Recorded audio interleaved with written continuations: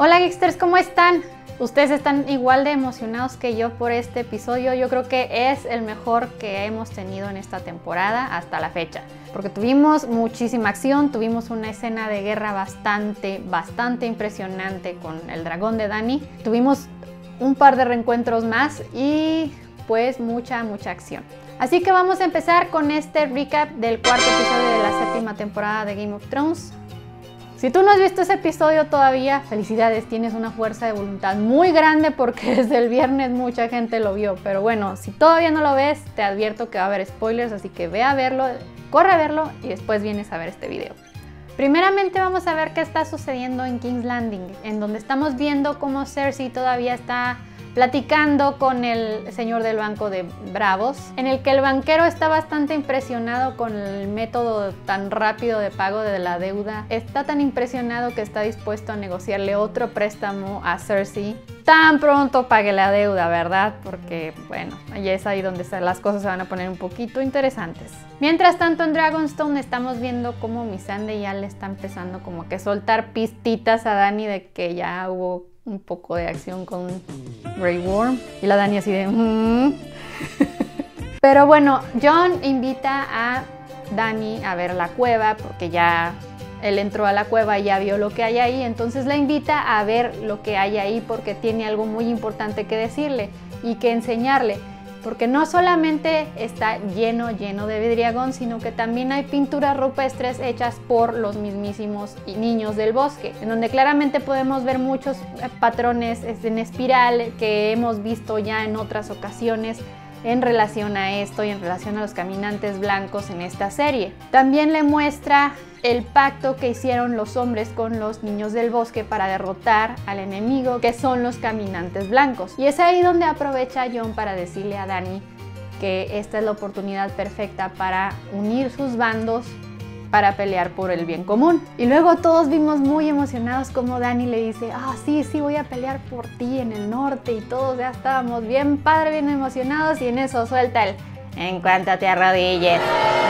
Pero bueno, en eso llega Tyrion y Varys y le dan la noticia de que sí tomaron Casterly Rock y ella dice, ah, ok, está muy bien eso y luego ve las caras que tienen los dos y dice, ¿qué es lo que está mal? Y entonces pues se enoja de que los planes no están funcionando como ella esperaba y que va perdiendo esta guerra y hace algo sorprendente, se voltea hacia con John y le pregunta qué es lo que él haría. Y John prácticamente le da la razón a Tyrion en el sentido de que le dice que si usa sus dragones para matar a todo el mundo es que no va a ser diferente a la demás gente que ha gobernado Westeros y que tiene a Westeros tan mal. En pocas palabras, ella sería más de lo mismo. Poco después vemos una conversación entre Davos y John, que parece una conversación como entre papá e hijo, que a ver qué está opinando de la posible muchachita que quiere para novia de su hijo. está un poco cómico porque ya después se encuentran con Missande y Missande les explica ¿Por qué Dani es chida? ¿Por qué la sigue? Y la sigue porque no por su papá, no por nadie, sino porque ella los liberó y les da la libertad de seguirla, bla. Entonces me suena como que el show está tratando de hacerle ver a John que Dani sí es buena onda y a Dani hacerle ver que John también es alguien digno de ella. Así que es obvio que la, serie nos los está tratando de conectar uno, uno, con el otro. Pero esta conversación animada se ve interrumpida por la llegada de Theon Greyjoy y aquí vemos el encuentro entre John y Theon que es bastante tenso por muy buenas razones y Finalmente John le dice que si no es por lo que hizo por Sansa, lo iba a matar. Y hablando de Sansa, vámonos a Winterfell en donde vemos como Littlefinger ya está poniéndose muy listo tratando de ganarse a Bran porque muy probablemente piensa que él se va a convertir en el nuevo Señor del Norte, siendo él el único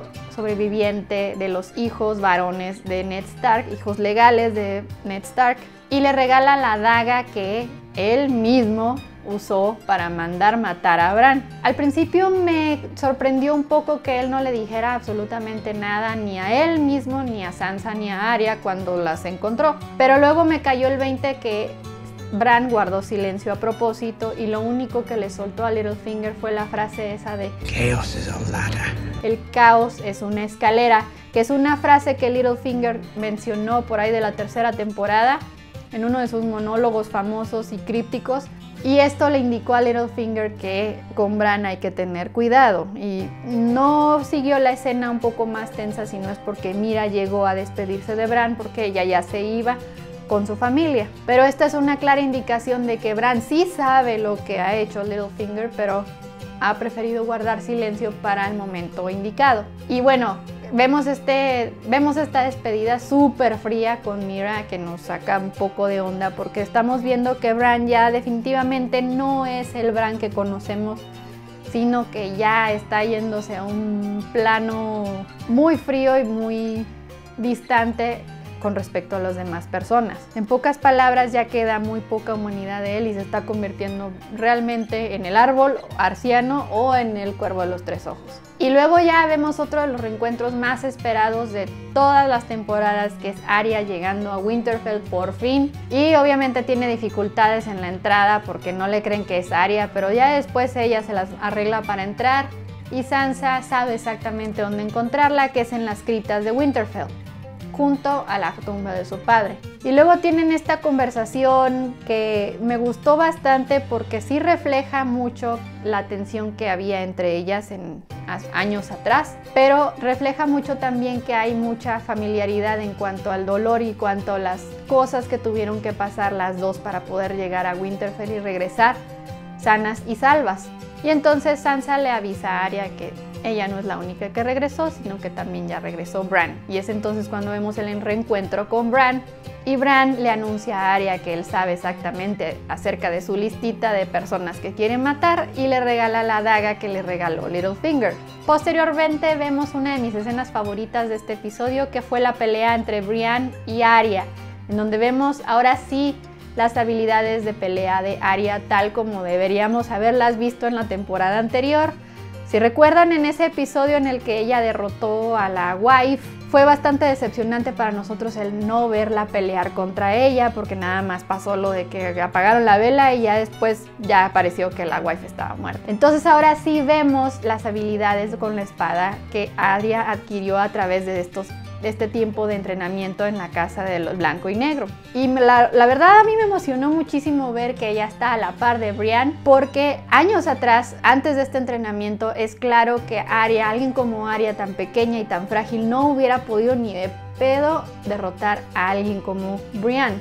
Y el hecho de verla que está a la par en cuanto a habilidades es algo muy emocionante de ver. Y vemos también cómo desde lejos están observando las Littlefinger y Sansa y vemos la cara de preocupación de Littlefinger en ese momento porque se está dando cuenta que los Stark son, unas son personas verdaderamente especiales con las que va a tener que tener muchísimo cuidado y que no, va a ser, no van a ser personas fáciles de manipular. Y Sansa vemos el rostro de preocupación o de desconcierto de Sansa al ver un poco de lo que su hermana ha pasado a través de estos años. Ok, pero ahora sí vámonos a lo más emocionante que sucedió en este episodio, que fue lo que sucedió en el camino de Highgarden a King's Landing, en donde vemos cómo Jamie y el señor Tarly aseguran los bienes que obtuvieron en el castillo de Highgarden, o sea, es decir, el oro y los granos. El señor Tarly le asegura a Jamie que ya aseguró el camino para el oro, al menos, mientras que Jamie va hacia uno de los vagones y recoge el oro que le debe a Bron. Y Bron, pues ya saben cómo es, el compa es demasiado sincero y le dice que pues sí, ya tiene oro, pero no le han dado su castillo que tanto le han prometido, es que no le pagan pagado su deuda al compa. Pero en lo que están en el chit chat se dan cuenta, empiezan a escuchar a la horda de Dothraki que viene y se preparan en sus filas para defenderse pero yo creo que no contaban con la gran cantidad de soldados Dothraki que venían hacia ellos y se le nota a Jamie la cara de preocupación, pero está más preocupado Bron acerca de esto. Y es que Bron probablemente está más enterado de las habilidades de los Dothraki en campo abierto.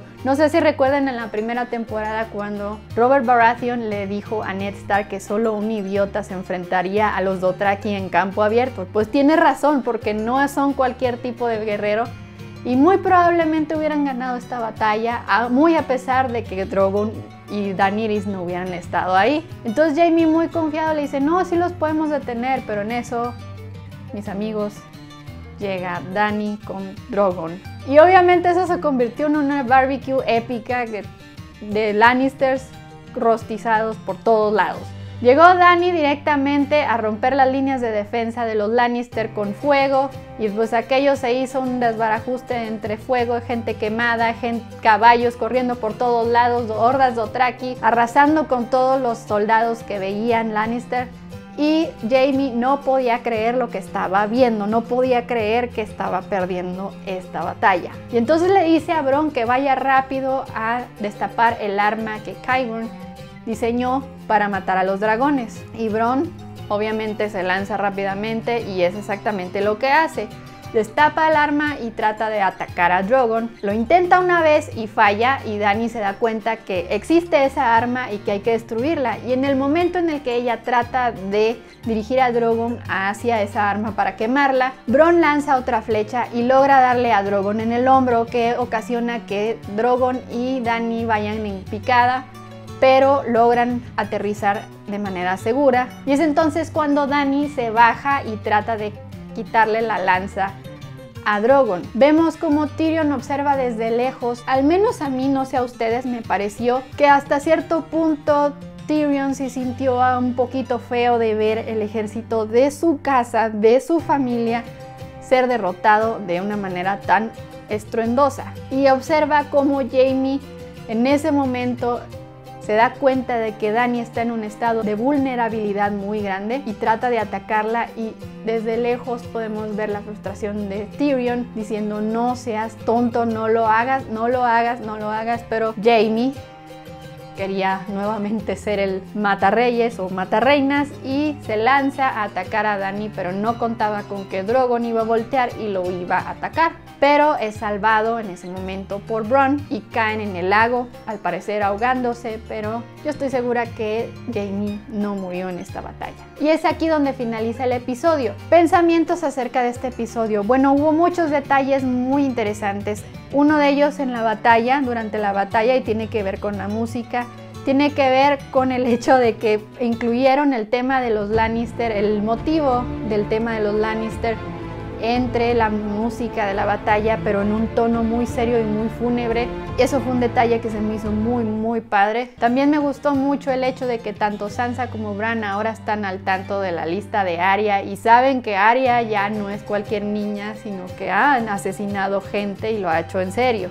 Me gusta mucho también todo el lenguaje no verbal que está reflejando Littlefinger en su cara, en su rostro cada vez que tiene algún encuentro con alguno de los Stark que no es Sansa. Refleja mucho su miedo y también refleja mucho que ya su, su, mente está empezando a maquinar cosas nuevas, está viendo la manera óptima de salir de esta situación y aprovecharse de ella. Otro detalle que me gustó mucho fue el hecho de que Dani sí le hizo caso a Jon en su consejo. No se fue a King's Landing a quemar a Cersei, sino fue a respaldar a su horda Dothraki en la pelea. Y eso es un buen signo, quiere decir que Dani no todavía no, está no la hemos perdido del todo. Esto obviamente va a balancear las cosas entre Cersei y Dani. Y Dani, dentro de lo que vimos en el avance del próximo episodio, obviamente va a tratar de negociar con la gente, va a decirles yo no soy una asesina, ustedes simplemente arrodíllense, y no van a morir. Yo pienso que vamos a ver a Jamie sobrevivir esta batalla y convertirse en un prisionero de Dani. Y mucha de su supervivencia va a tener que ver con Tyrion. Obviamente Tyrion no va a querer que maten a su único hermano que le cae bien. Y esto va a alimentar la tensión entre Dani y Tyrion. En Winterfell también va a haber tensión inminente. Es obvio que los tres hermanos han pasado por cosas muy duras cada uno y es obvio que no se van a juntar a, cantar We Are Family. Simplemente es obvio que va a haber conflictos entre las cosas como ellos aprendieron a manejarla cada uno individualmente. Pero al final yo creo que vamos a escuchar ese monólogo que escuchamos en el primer tráiler de esta temporada en el que Sansa dice que el lobo solitario muere pero la manada sobrevive. Pero pues bueno, esto es todo, esto es lo que opino yo, ¿qué opinan ustedes? Comenten por favor. Y bueno, yo me despido, les agradezco su tiempo, su suscripción al canal, su patrocinio en Patreon, que aquí les dejo la liga para que vean de lo que se trata y nos vemos la próxima semana. Valar.